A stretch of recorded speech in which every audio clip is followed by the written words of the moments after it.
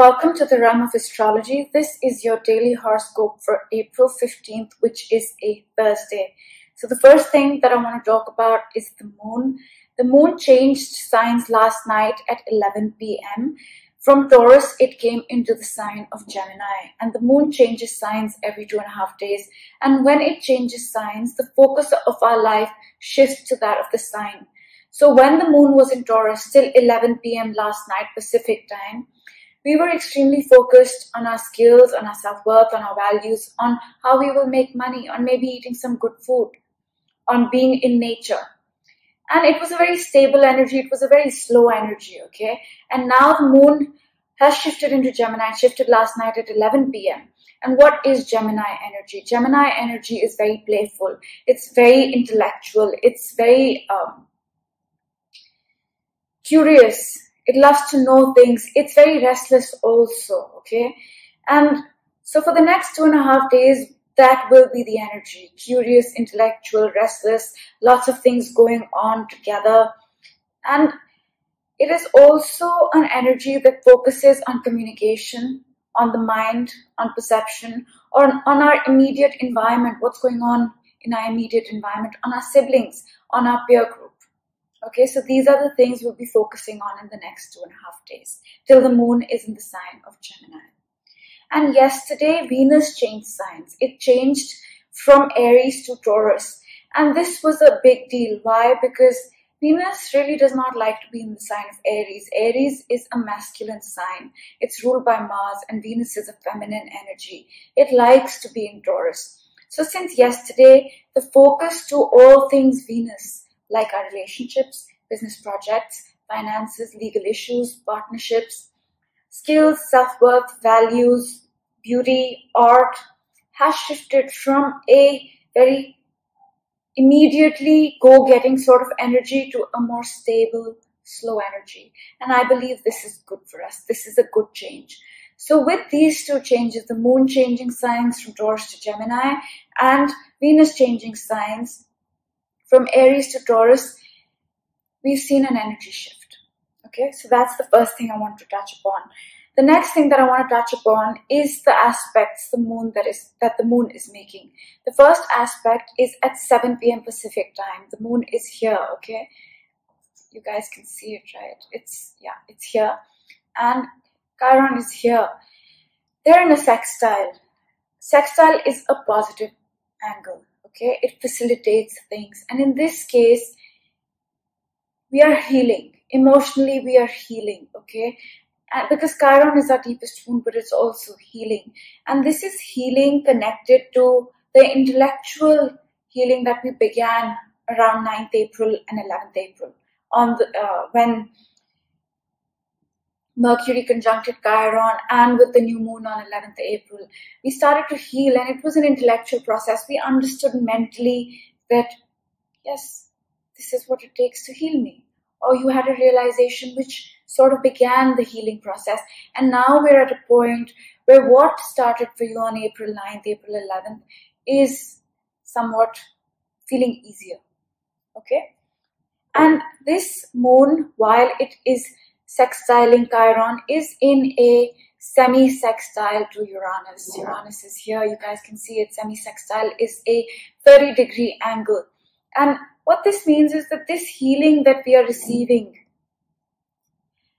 the intellectual healing, can come in unexpected ways because Uranus is unexpected. It can come in sudden ways. It can come out of the blue. It can be just an instantaneous realization without much thought going into it. Maybe you're sitting down on a computer and you look at something and you say, oh, okay, I understand now. You know, it could be as basic as that. And this unexpected healing is tied to our self worth. Suddenly, we will feel more healed in our self worth. And I think that's where we will heal. Yeah, that's where we will heal from. And this self worth has a lot to do with the identity we're building. Because this new moon was all about starting things, was about constructing your identity, which happened on 11th April. And we found some sort of value in ourselves because of that. We found some sort of self worth because of that. And that is what is healing us. And the next aspect the moon's going to make is going to happen at about 11 p.m. Yeah, 10:40 p.m. Pacific time. The moon is going to conjunct the north node. Now, the north node is where we are headed. It's our goal, okay? And moon is our emotional body. So what does this conjunction mean? First of all, when a planet conjuncts the north node, when a planet is near the north node, the energy is magnified. In this case, our emotions are magnified. And I believe that's a good thing. And our emotions are also tuning up to our goals. Okay? Till now, maybe you had certain goals, but emotionally, perhaps the past was still there with you. Perhaps the self worth issues were there. Perhaps you didn't think you had the skills but now emotionally, you're feeling like your values match up, your skills match up, your self worth matches up to the goal that you've set. The goal that you've set for yourself since May of last year. Okay, and soon after this, at about 11:40 p.m. Uh, or post midnight rather, the moon will conju- uh, moon will trine Saturn. Okay, and what, what, what is a trine? A trine is a 120 degree angle and it's considered positive. And what is Saturn? Saturn is a builder. It defines things.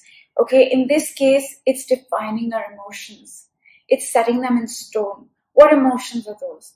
The emotions of syncing up to our future, the emotions of aligning with our goals. Intellectually, we may want something, but in, emotionally, do we want that?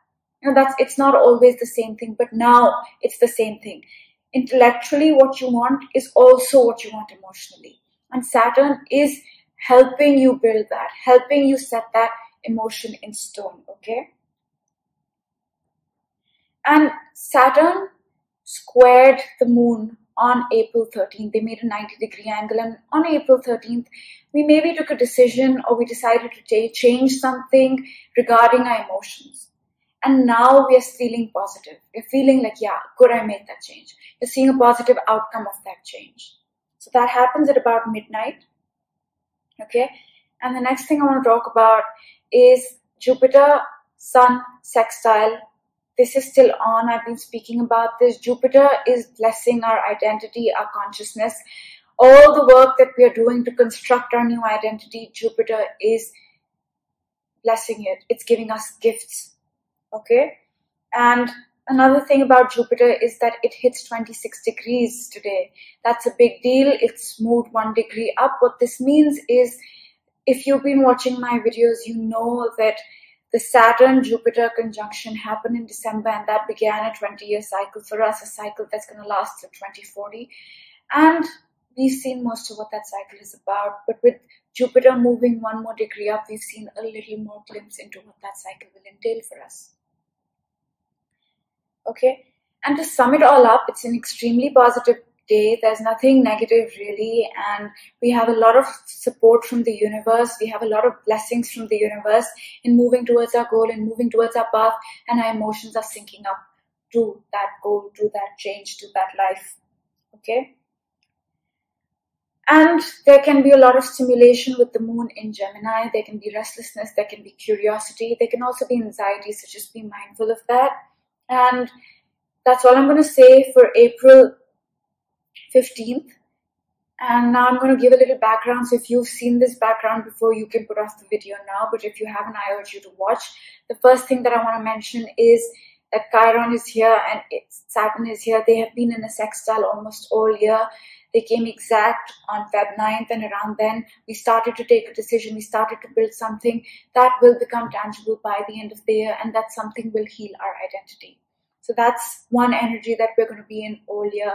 The second energy that we're going to be in all year is Saturn square Uranus. Okay. Saturn is here and Uranus is here and they're in a square, a 90 degree angle. And the gist of this energy is that we have to come into our authentic self. We have to leave behind who we think we should be and become who we actually are on the inside. And by the end of the year, as the square gets over, that real authentic self will become tangible, will become palpable. And this may not feel easy because the square feels challenging. The next thing that I want to talk about is something that I mentioned briefly. Saturn and Jupiter conjuncted in December of 2020. They met up at zero degrees of Aquarius. And when they meet up, they begin a 20 year cycle. And since then, we've seen most of what this cycle is going to be about because Jupiter has traversed 26 degrees of Aquarius. But it's going to take us two more years till 2023 to lay the foundations for this new cycle that's going to be with us till 2040. The next thing that I want to talk about is that Saturn and Pluto conjuncted last January, Jan 2020. They conjunct once in 35 to 38 years. So they ended a cycle that began for us between 1982 and 1984 and began a new one. Okay, this new cycle starting Jan of 2020 changed our material reality completely this January, January of 2021, we saw that cycle come alive. However, it's not going to come alive fully till June. It's not going to be completely activated till June. And the last thing that I want to mention is that the nodes, the north node and the south node, the north node is in the sign of Gemini and the south node is in the sign of Sagittarius. They were in the same placement between 2001 and 2003. So whatever you started back then, whatever themes came into your life back then, you will probably be resolving those themes, building on them, or reviewing them, whatever it is for you. So that's all I'm going to leave you with. And thank you so much for watching this video. I'll see you guys tomorrow. Bye.